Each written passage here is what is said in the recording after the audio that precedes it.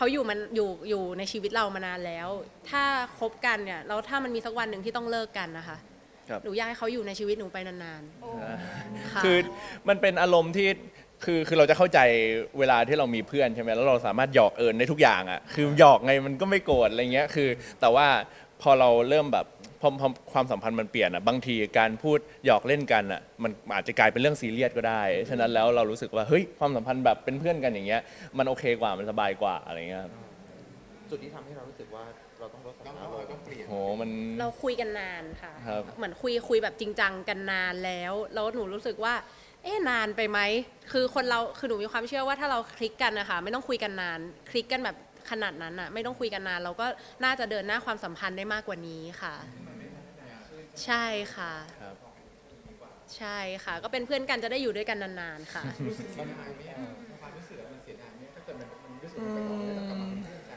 หนูว่าไม่เสียดายเพราะหนูรู้ว่ายังไงเขาก็อยู่ตรงนี้ โอ้ยจริง ๆ ก็ผมผมรู้สึกว่าคือเราเป็นเพื่อนกันอย่างเงี้ยถ้าเกิดว่าสมมติวันหนึ่งอะเราต้องมีปัญหาทะเลาะกันใช่ไหมแล้วเราแบบไม่คุยกันเลย ไม่รู้จักกันเลยมันน่าเสียดายมากกว่า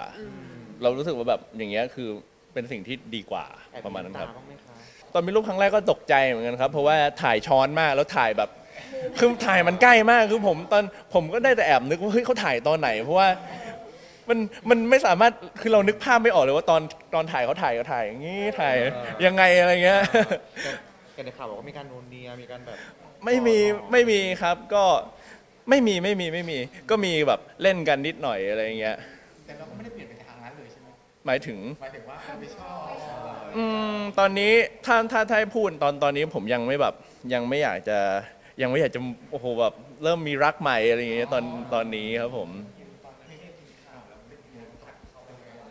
เขาทักมาค่ะ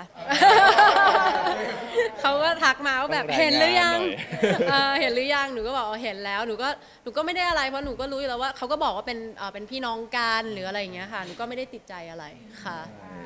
ถ้าเกิดว่าเขาบอกว่าเฮ้ยแบบ แม่งเปลี่ยนเปลี่ยนแนวหรอไปชอบแบบสาวทรานหรออะไรอย่างเงี้ยสำหรับสำหรับผมผมผมไม่ได้มอง อันเนี้ยเนี่ยผมค่อนข้างจะไม่ค่อยโอเค ตรงที่ผมรู้สึกว่าเวลาเราชอบใครรักใคร เราไม่ต้องต้องมาบอกหรอกเฮ้ยเขาเป็นเพศอะไรอะไรอย่างเงี้ยหรือว่าเขาเป็นสาวทรานเขาเป็นผู้ชายเขาเป็นอะไรคือสำหรับผมผมคิดว่าการการรักใครสักคนชอบใครสักคน เราไม่จำเป็นจะต้องไปบอกหรอกว่าเฮ้ยเขาเป็นเพศนั้นเพศนี้แล้วทำให้เป็นกระแสที่แบบโหเหมือนเป็นเรื่องผิดปกติอะไรเงี้ยครับผม ชีวิตน้อง ก็ก็จริง ๆ ผมพยายามจะพูดคุยกับน้องเขาเพราะเหมือนประมาณว่าเราจะต้องหาทางโปรเทคน้องเขาเพราะว่าจริง ๆ แล้วอะน้องเขาไม่ได้ทำอะไรผิดเลย น้องเขาไม่ได้ทำอะไรผิดเลย คนที่ผมผมไม่แน่ใจเหมือนกันว่าที่มันเป็นประเด็นข่าวมันเกิด อาจจะเป็นเพราะว่าแบบไม่รู้เพราะเรื่องไหน เราก็ต้องพยายามจะโปรเทคน้องเขาได้มากที่สุดในในมุมที่ว่าเฮ้ยเราเราเราชัดเจนว่าเราคิดยังไงเราทำยังไง แล้วก็ ถ้าเป็นเรื่องที่แบบทำให้น้องเขาแบบวุ่นวายกับเรื่องข่าว เราเรารับผิดชอบเองเราก็ต้องขอโทษเขาอะไรประมาณเนี้ยครับ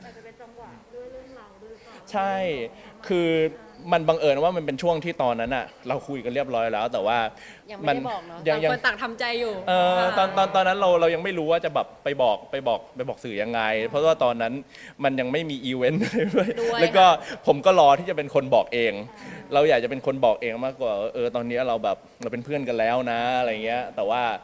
ตอนนั้นยังไม่มีโอกาสได้พูดครับ ผมก็โอเค เมื่อมีข่าวนี้มาโอเคไหนไหนๆเราก็ก็เคลียร์ทั้งสองข่าวเลยครับ